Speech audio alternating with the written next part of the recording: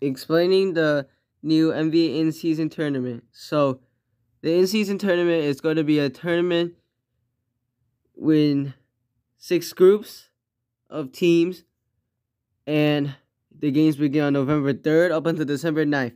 It's going to be a tournament, sort of like a soccer cup or something like that, in season cup. The WNBA has one where the team will face every team in the league will face off and whoever wins get 500,000 for each player. Second place gets like a uh 250, I believe. Third place gets 100. Fourth place gets 50,000. So decent amount at stake because 500,000 per player is a pretty decent amount of money, especially if you're making like a minimum. That's like basically one fourth of more of the minimum. So like, you know, the big players earn like a ton, so five hundred thousand is nothing. But they might want to do it for their teammates who might like this money would actually help them a lot. Most players, like from like maybe the tenth player, fifteenth, seventh, eighth day, if they get this amount of money, it will be a ton of money for them. And there might be more awards soon, but right now it's just 500,000. So we already have the groups. Each group has five teams, and they will face off each team. So it'll be four matches in each group, two home and two away. Games are on Tuesday and Fridays. Teams might be wearing random jerseys and stuff. It'll be crazy. But whoever has the best record in say West A, the Suns have the best record uh, versus all four teams. Let's say they go like three and one or something. They have the best record.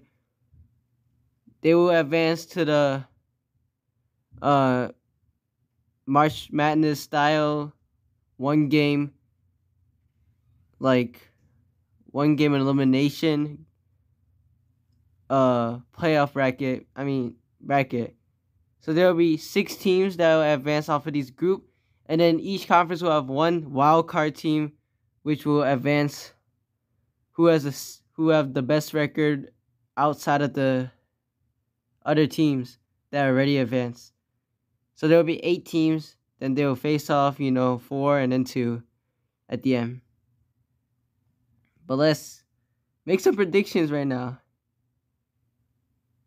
Now, it's really hard to make a predictions because if a team wins, like gets hot and wins every group uh game, group play game, that would be really uh hard to like predict because there's only four games and maybe that team goes off in those four games.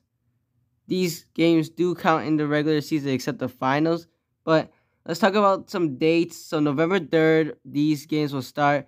Every Tuesday and Friday, there will be group games. So West A, Grizzlies, whatever, will verse one of the teams on Tuesday, one of the teams on Friday, and stuff like that. But might not be every Tuesday and Friday, just some of them will have group games. Of course, not every team is going to play every Tuesday and Friday.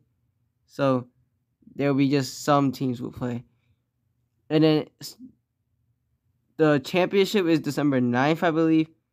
The semifinals is gonna be um December 7th. I mean the um round of four and then the round of eight will be December five or three to four, I think. Three to four. So there'll be a ton of cool games. Group games should be televised pretty uh decent amount because the NBA is trying to push this tournament. But yeah, my predictions of just who will win each group. West A, the Suns. West B, the Nuggets. East A, the Sixers. East B, the Bucks. East C, the Celtics. And West C, I have the Sacramento Kings. Now, you can make an argument for any team to win. But yeah, just explaining the in-season tournament. Thank you guys for watching. We're out.